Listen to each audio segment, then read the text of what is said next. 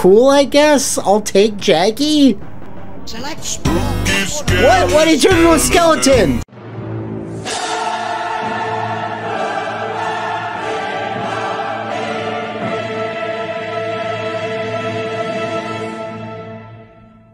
Welcome back to my personal quest to see if I can find a fighting game worthy of dethroning Criticom as the worst I've ever played.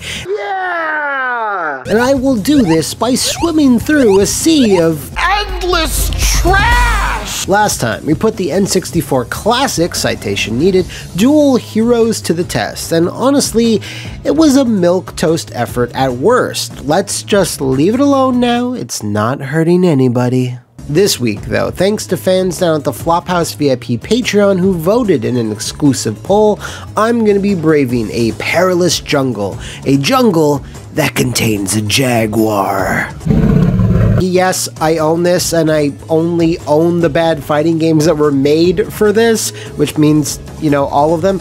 Anyway, this Jag here has been sitting on my floor for like two, four years, and I've barely ever found a good use for it. So let's all find a good use for it with the game that you all voted for. Kasumi Ninja!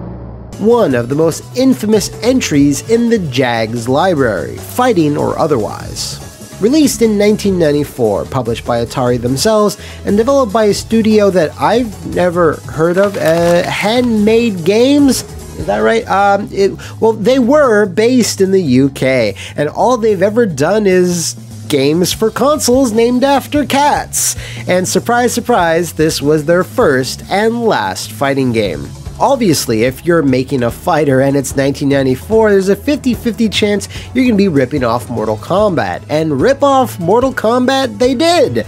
They dressed up some poor palookas under some hot studio lights and had them do all types of silly shit. In terms of its setup, well, it's pretty par for the course. If by par for the course, you mean ripping off Mortal Kombat. For many generations, rumors have persisted of a small, well hidden island known as Kasumi, which has produced the world's most renowned ninjas.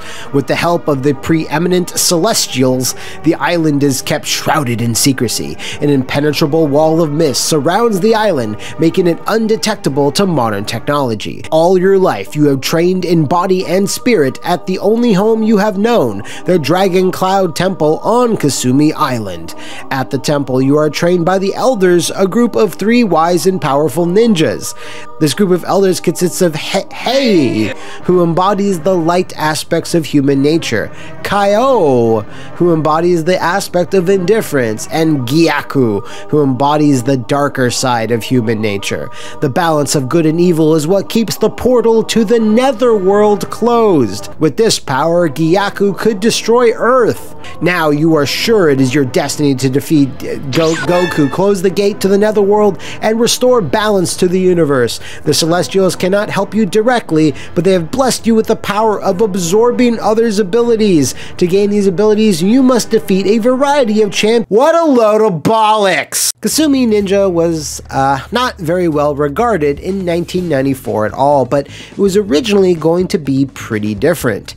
Handmade's original plan was to make something more unique, featuring a robust roster of 20 characters and have a completely different art style. That is, until Atari apparently butted in and asked for a quick MK clone instead. This was all revealed by a former staff member at Handmade Games who had no qualms throwing Atari under the proverbial bus, but since all these companies are you know, don't exist, it was probably a low level of risk for him. Part of his vitriol probably had to do with the fact that while Kasumi Ninja actually sold well enough to warrant a sequel, and Atari set them to work on said sequel, what the struggling company failed to mention was that they were struggling, like like bankruptcy struggling, and folded as a console making entity just a few months after Kasumi Ninja 2 had been greenlit although Atari's arcade division still lingered on. Handmade, with no one left to pay them for all the work they had done, were then forced to close their own doors. This cruel fate actually befell several in development Jaguar games, including an AVP sequel and even an Atari published port of MK3. All of them started, but never released. Today, though, Kasumi Ninja is only kept alive by residual views of AVGN's review of the Jaguar console itself. How I assume that's the reason why most of you even voted for this digitized disaster. But that's not to say that Kasumi Ninja hasn't earned its fair share of ire, even back in the day. In fact, I can only find one surviving old score from Game Informer, funnily enough, which slapped Kasumi Ninja with an embarrassing 10% on game rankings. In terms of other 90s publications, well, from what I've been able to glean, it wasn't much better elsewhere. On the internet in 2021, though, Kasumi Ninja has been awarded the fourth worst MK ripoff, placed in UGO's 102 worst games ever, and Complex.com's worst fighting game, etc., etc. But we won't know how truly bad it is until we get it in the ring.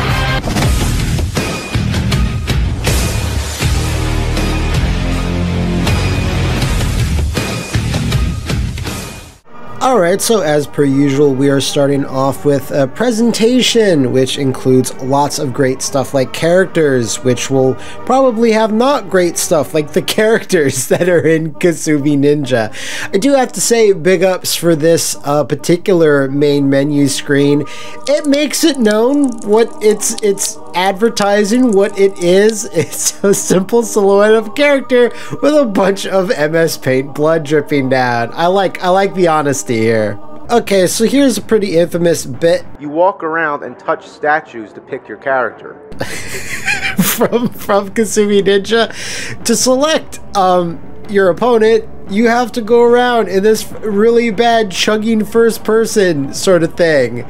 P- Points for originality. You know, uh, no game would do this because why would you do this? It's very stupid, but I'm glad that they did it. You know, I've seen so many character select screens, some good, some bad, some in between, and they they they tried to do something. Whether it was good or not is is up for debate.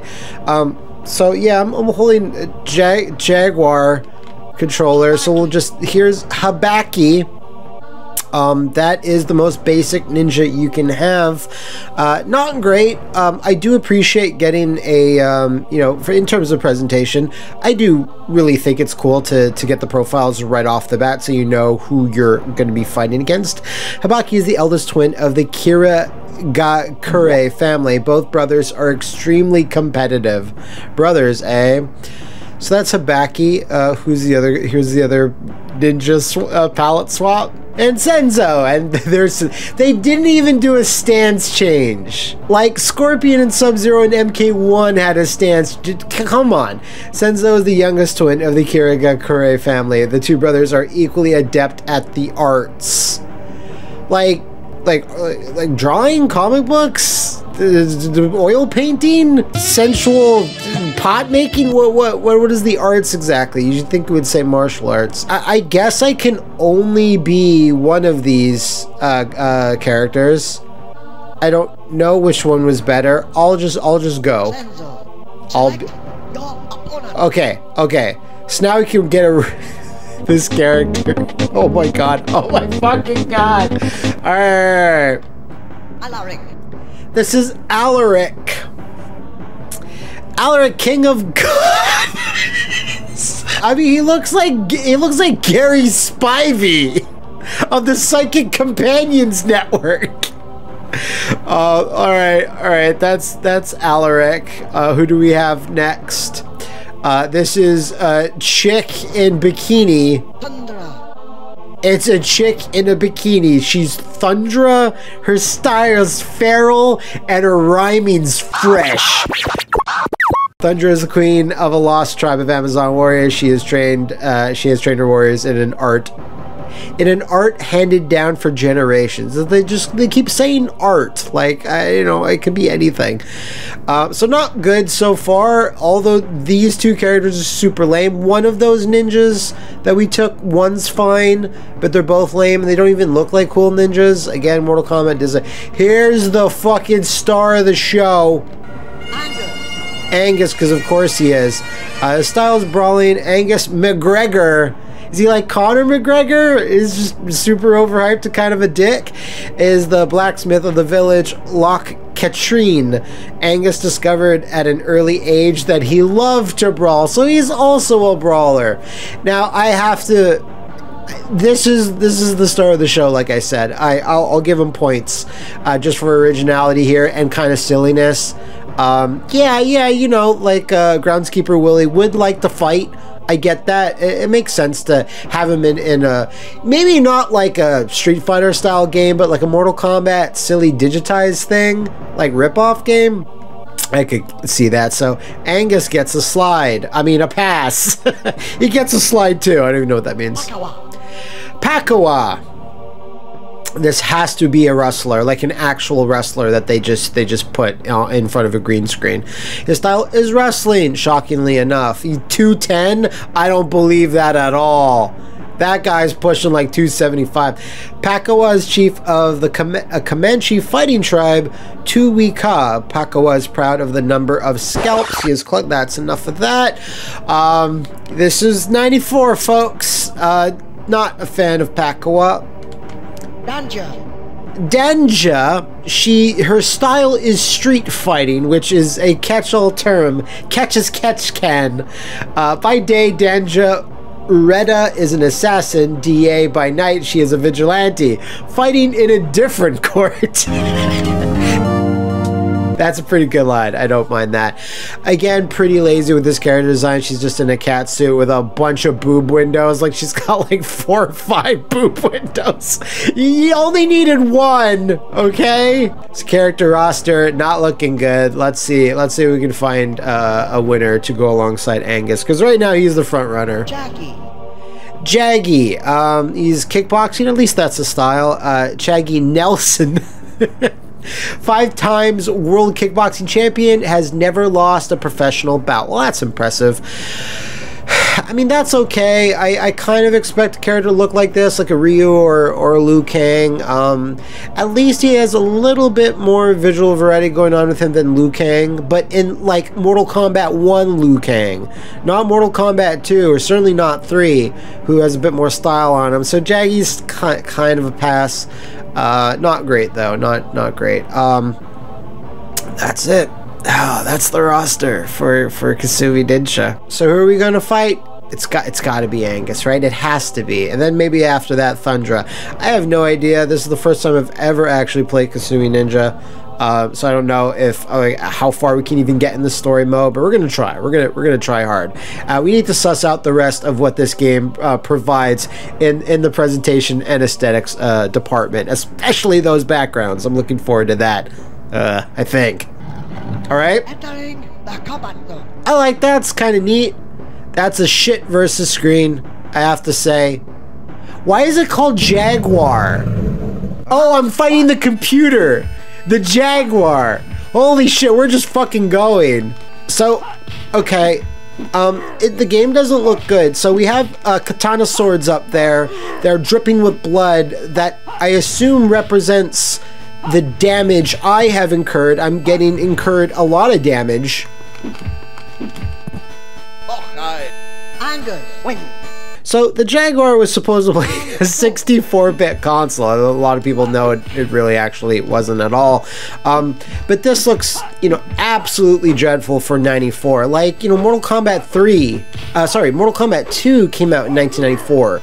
So you have to look at least as, you have to look at least as good as Mortal Kombat 1, and this certainly doesn't. And yeah, it's an old console, and I'm, I'm, rec I'm recording it off the actual hardware, but like this this just looks awful. It could be like it's very washed out. Um i mean it's a little bit colorful. It's it's it's just unappealing to look at. Now we're looking at the stage there. The stage looks not too bad actually. Jackie it's not it's not written in the proper jaggy the way that it should be written like in Fist of the North Star. Like that's not that's not as fun. It's got to be with a J, soft J. All right, lots of Buddha statues. This actually doesn't look too bad. It it not bad at all, actually. The scrolling on the floor is is also a little bit impressive, especially for the time. It almost looks like a 3D arena. Uh, uh, definitely a little bit better than uh, Angus's stage. And I'm also noticing the blood actually stays on the floor. That's not even something Mortal Kombat anything. Maybe until Deception or like Deadly Alliance did. That's that's kind of neat. All right, let's see. Let's see the King of Goths, Alaric. Okay, th th all right. Um, so so this stage a little a little bit more muddy. Uh, you know, not not super great. Um, but I mean, it's simple. One good thing is don't have too many uh, objects in the foreground obscuring everything, and th that's fine. That completely makes sense. Uh, having those torches there uh, to give the the stage a little bit of depth. I've seen some fighting games that do that terribly, and this isn't one of them. All right, well here's here's Pakawa's stage. All right, he's, he's got a butt, his ass stomp. Great. Okay. Wow, I can't do anything about that. I don't know what I expected, you know, for for a First Nations character to be in a fighting game. They would probably always have a stage like this. So so many of them kind of do. Ow. I will say that there's a very sort of naturalistic look to a lot of the stages. They they kind of feel as realistic as they could be rendered, you know, considering all the, the the constraints and what they had going against them making this game, and you know, being on the fucking Jaguar. Can I select to leave? You need the key to the Dragon Cloud Temple before you can face Gyaku.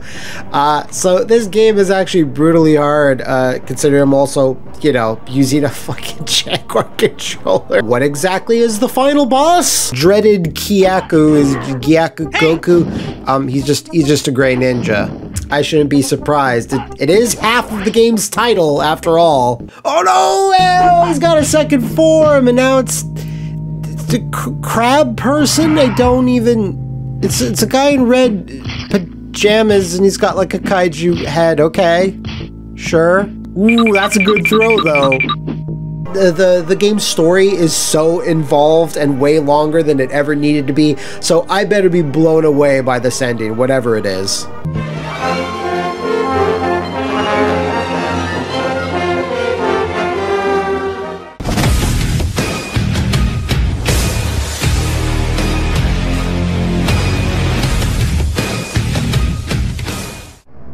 Let's talk, unfortunately, a little bit about the gameplay. This is going to be a quick section, actually, because there's not much to say.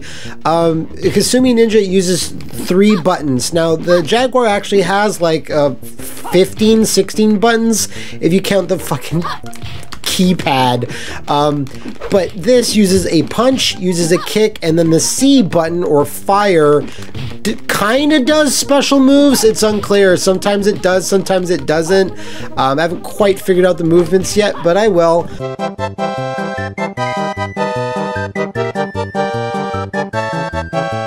Um, uppercuts are weird. It's not actually ducking and punching. It's ducking then holding between down and forward.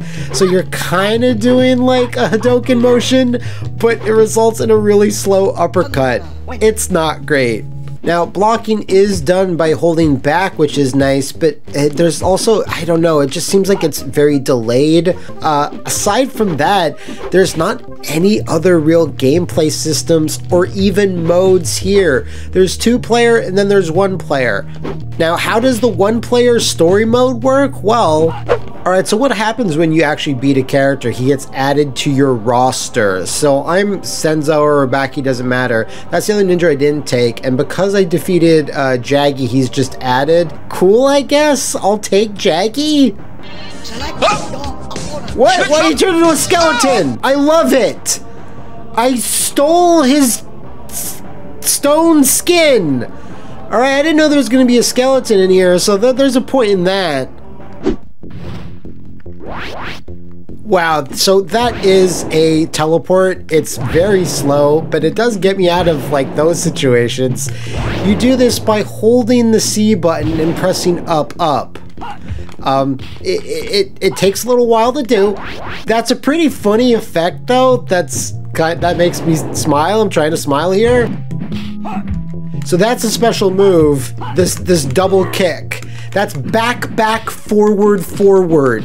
That is crazy for a standard special move like a hurricane kick. I don't know. I don't know if I can continue with this gameplay segment. I'm done! So here's the other mode in the game, the options mode. So here's the other mode in the game, the options mode. It's the, it's the only other thing it has. We can reveal the credits. Uh, we can turn on the story text. Uh, there is a parental lockout code for the blood. You can change the gore level to Gore Fest. What else? None. Combat. Disturbing. That's actually pretty fun. That that makes me think that they're trying to make the best of it, you know, developing this, and they're like, let's let's just try to have some fun wherever we can by having this stupid '90s text. It's pretty funny.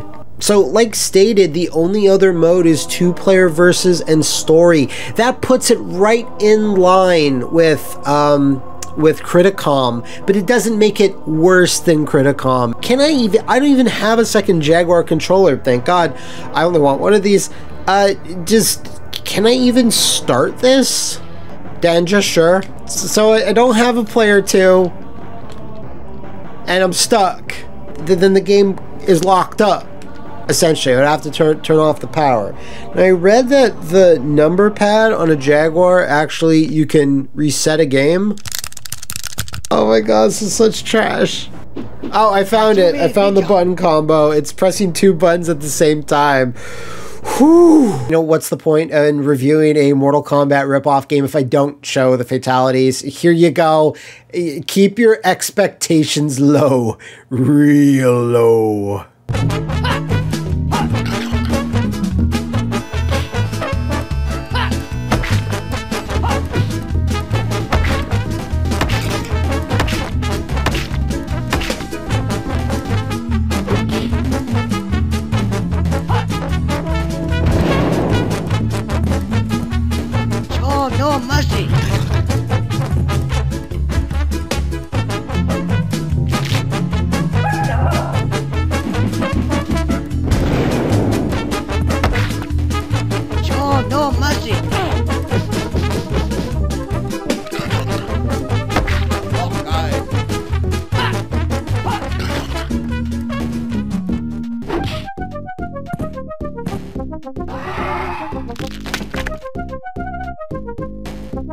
Oh. Oh, no mercy.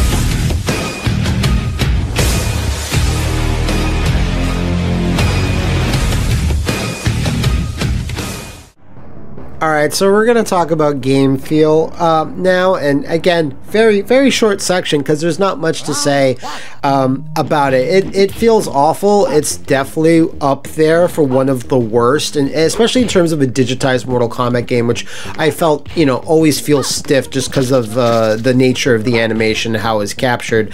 Um, what I can't fault this game for is being on the Jaguar. Like that's that was out of its control. Jaguar is the one fun. Uh, Jaguar, yes, the Jaguar Corporation.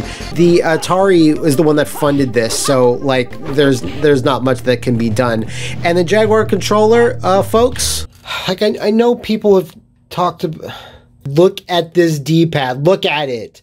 You need a priest to get rid of this thing. I can't impart to you how bad this controller is, really, for anything. I can't imagine anything controlling well in this. Least alone fucking fighting game.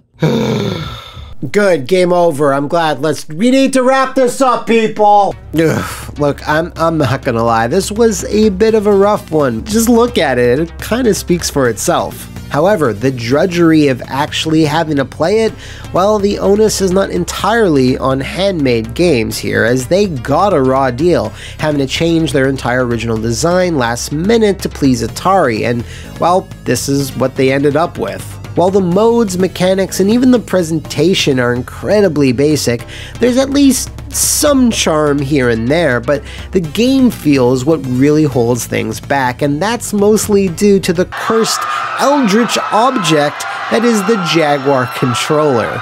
And unlike the PlayStation, all of the Jaguar's fighting games are notoriously awful, so Kasumi Ninja doesn't really stand out in that regard. It's a stinky game in a giant collective cloud of stink. It shares a lot of similarities with Criticom and gets really close to being as unpleasant to play, but the blood, fatalities, silly special moves, and the shockingly impressive backgrounds just edge it out, making it the slightly better game. So I'm going to officially nestle Kasumi Ninja yeah, right under there in its own digitized pit of shame. You've earned it, buddy. And so that ends another worst fighting game, as the winding road of my quest still beckons. But if you want to throw some pebbles, rocks, or explosive there. bricks on my path, shout out some bad fighting games in the comments below, and we'll see if one of the games you suggested can top the king of the shit heap, my beloved Critical Combat.